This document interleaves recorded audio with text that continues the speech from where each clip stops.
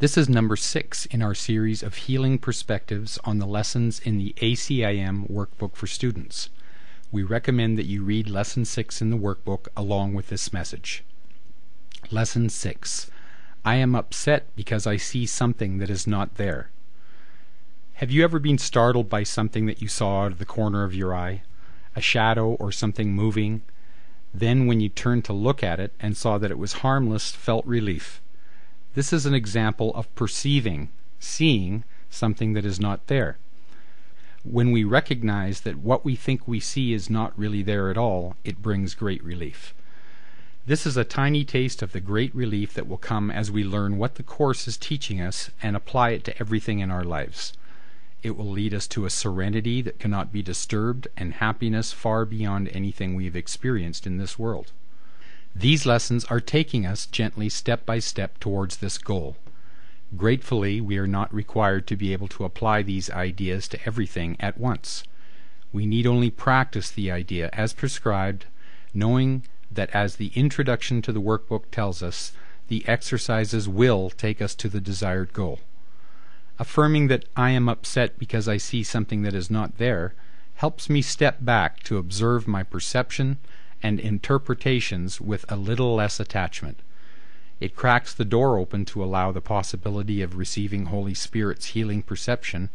I am willing to open that door. Many times I've awakened in the morning to realize that the dream I was dreaming was not real. The circumstances I was dreaming were not really there.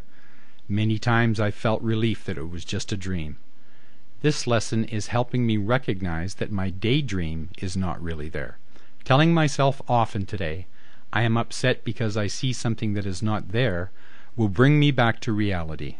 My source did not create this, and so it is not there. Love did not create a world of separate bodies, a world of constant change, and so it is not there. This is a reality check for me. This helps me reconnect with the truth of what is real. This helps me detach from the dream I am making up and perceiving is real. In truth, there is no duality, and right now, while I am believing in duality, I need help in waking up to what is real. Dreams of separation are frightening. They do induce anger, fear, worry, and depression. Dreams of separation are not happy dreams. Dreaming I am separate from love is not a happy dream. Dreaming I am separate from my brothers is not a happy dream. I am grateful that Jesus has provided these daily lessons to help me undo the fearful dreams I have made. I need constant reminders that what I am seeing with my body's eyes is not really there. It's a huge relief, just like when I wake up in the morning realize that the fearful dream is not real. I can relax now. I can take this lesson and practice it again and again today. I can practice being mindful to recognize upsetting thoughts as they come up and apply the lesson for today. As I practice it, I find relief. It brings me to deeper levels of peace and inner calm. I am so grateful that these lessons are here to help me let go of a make believe world of separation. It is a great relief to know that this world could never be real in God's loving mind.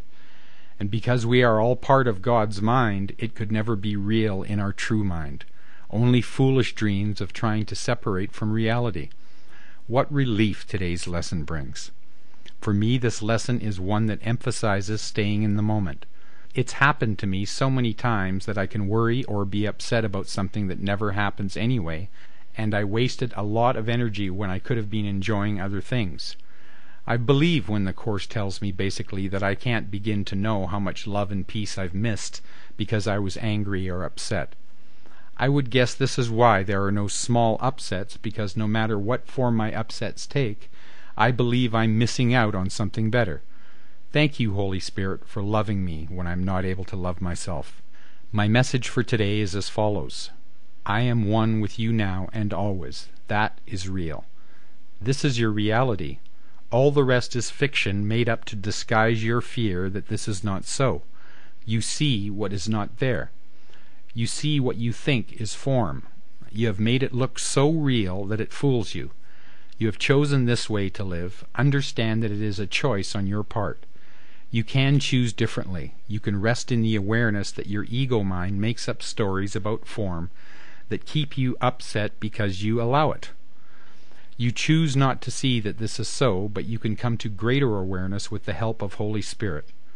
That part of your mind connected to oneness in God is the part that can choose more and more to see the reality that is.